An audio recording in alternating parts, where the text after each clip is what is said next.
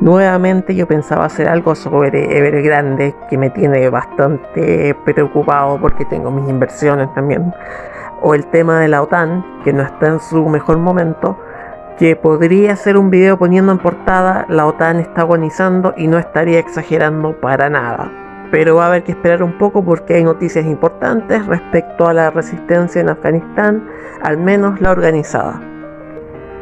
Para ser breve esta vez, India Today comenta que es posible que la resistencia en Panchir, entendida como el Frente Nacional de Resistencia, haya iniciado una especie de receso luego de que sus líderes Amrullah Saleh y Ahmad Massoud abandonaran Afganistán. El primero está en Tayikistán y el segundo se cree que está, después de haber pasado por Tayikistán, ahora está en Francia lo cual no sería extraño ya que hay, está el tema de los de estos eurodiputados que apoyaron la moción de que dieron audiencia ante el Parlamento y el, y el Consejo Europeo.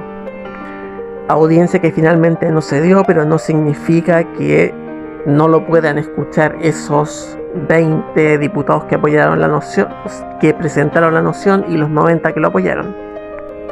Bueno, a ambos y sus séquitos se les permitió ingresar primero a Tayikistán luego de las conversaciones entre su presidente Emola Rahmon, Emol, Emomali Rahmon y el primer ministro de Pakistán Imran Khan el pasado 18 de septiembre, durante las cuales finalmente Pakistán convenció al primero de abandonar todas las nociones de apoyo a la resistencia en Panchir, a cambio de que Pakistán comenzara a tranquilizar un poco a los talibanes como ya se ha visto en algunas declaraciones de Khan, sobre las conductas extremas de la, y de la milicia y sobre todo el llamado público que hizo a un gobierno más inclusivo.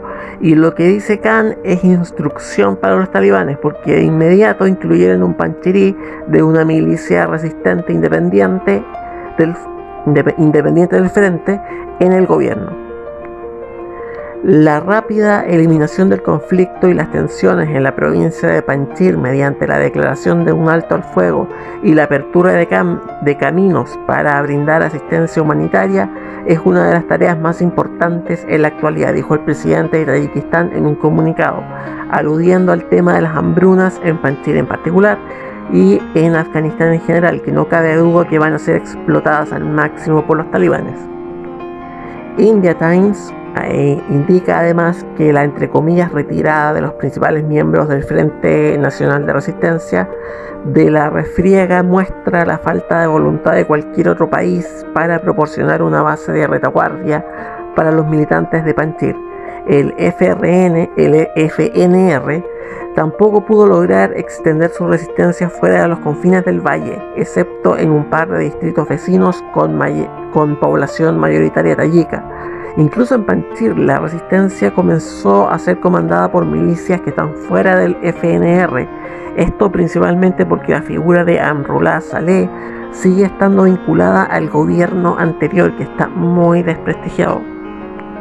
En cuanto a Masud, por algo está en Europa y comienza el otoño en Afganistán y con ello la guerra se detiene. Es el momento de pasar a la guerra diplomática y es probable que por ahí continúe negociando probablemente en secreto.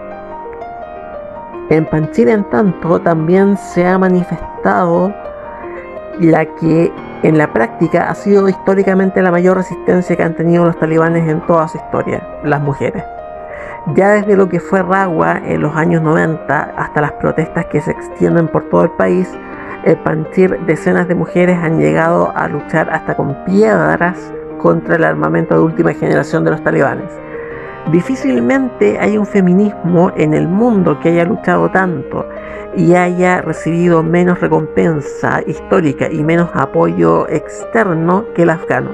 La vida es así, injusta. Por mientras hay otros personajes que son todo un misterio pero que pueden aparecer en cualquier momento. Uno de ellos es Abdul Rachid Dostum, este hombre uzbeko eh, fue vicepresidente de Afganistán y aunque permanezca, eh, permanezca exiliado en su país, en Uzbekistán, para evitar que los talibanes le corten la cabeza, estaría preparando una ofensiva contra los talibanes. En principio esa ofensiva, hace un mes atrás, iba a ser junto al eh, ex ministro de Defensa, Bismillah Khan. Eso decía Moncloa.com hace un mes, en una nota que voy a dejar el link.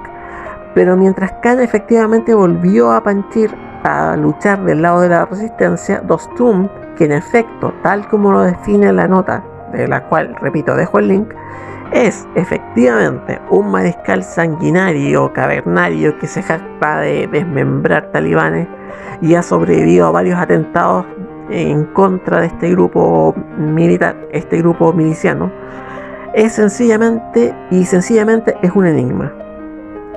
La nota lo pone como la última esperanza de los afganos contra los talibanes, pero en realidad desde el 15 y en estricto rigor posee la milicia más potente que podría enfrentarse a los talibanes.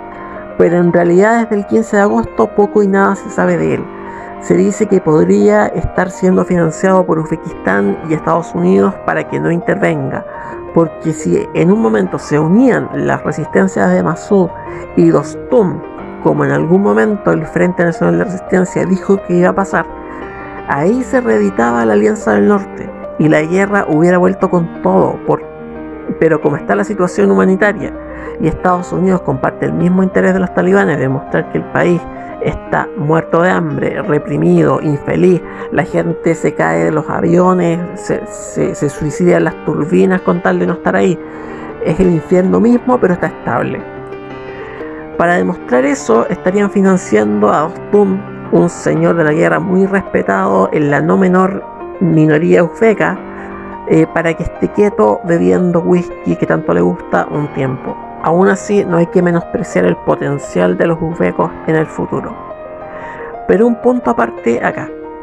Tayikistán, Uzbekistán, del, eh, Uzbekistán y Turkmenistán no es que sean democracias, son países seculares, pero de ahí que sean democracias hay harta diferencia. Sin ir más lejos, en Turkmenistán el presidente decretó que el coronavirus no existía y por eso el país tiene cero casos desde el principio de la pandemia, igual que en Corea del Norte. En Tayikistán el presidente Rahmon, que es vitalicio, decretó hace poco que ya no había y no iba a haber más casos de coronavirus en el país. Y ahora tienen cero casos activos porque el presidente lo decretó y la OMS les acepta eso. La OMS les acepta eso perfectamente. Pero más importante, si lo que estoy diciendo... Es una anécdota, es para ilustrar cómo funcionan estos países, no pasa eso al secundario. Lo principal, Recuerden que estos, si bien es cierto, son países musulmanes, todos con importante presencia étnica en Afganistán, también son ex repúblicas de la Unión Soviética. Es decir, hay diferencias entre los tayikos de Tayikistán y los de Afganistán. En estos países el Islam recibió el mismo trato que en Rusia recibió la Iglesia Ortodoxa y que fue, y que fue atroz. Sin ir más lejos, los muyahidines que pelearon contra los soviéticos tenían el punto a favor de que la religión iba a sufrir el mismo trato si los comunistas se consolidaban en el poder, visto lo que había pasado con, los vecinos, con sus vecinos del norte. Pero la vida da vueltas y ahora la historia es más o menos al revés. Ahora estos países de Asia Central son en su mayoría musulmanes con una pequeña minoría de ortodoxos rusos en la foto la, Iglesia Ortodoxa rusa en Chile, mientras en Afganistán hay una dictadura fundamentalista y los pocos cristianos del país, bueno, esa es una situación que da para otro video. Si Rusia se hace aliado de los talibanes, va a significar una cosa, eso sí, va a haber una iglesia ortodoxa rusa, porque la hay está en Corea del Norte.